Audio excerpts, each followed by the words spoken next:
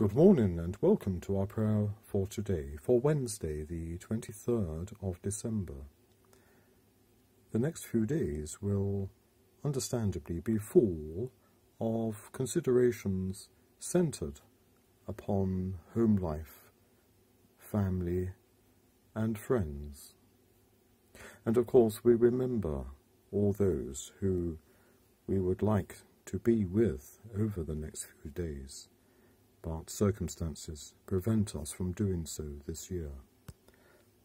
Nonetheless, it is also important that we take time to reflect on those matters which we also need to hold close to us, and perhaps consider giving greater emphasis to after the Christmas period has finished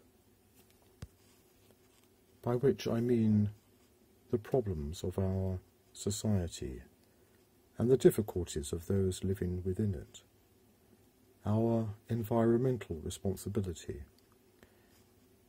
and our obligation to protect the natural world,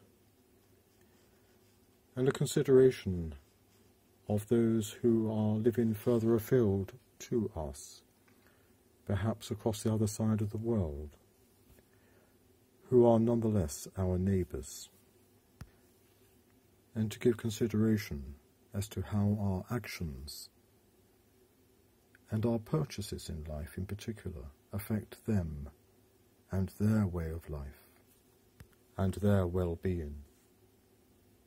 And so today we pray, Sovereign God, though we look forward to a new heaven and earth, a kingdom that is yet to come, Save us from turning our back on the present, as though the here and now isn't important, and the world around us is not our concern.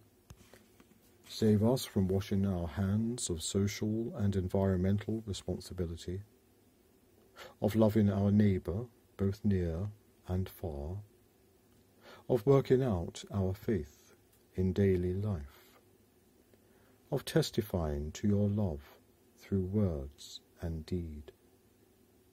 Teach us that if we would truly see your kingdom, we must strive each day to bring it closer on earth as it is in heaven.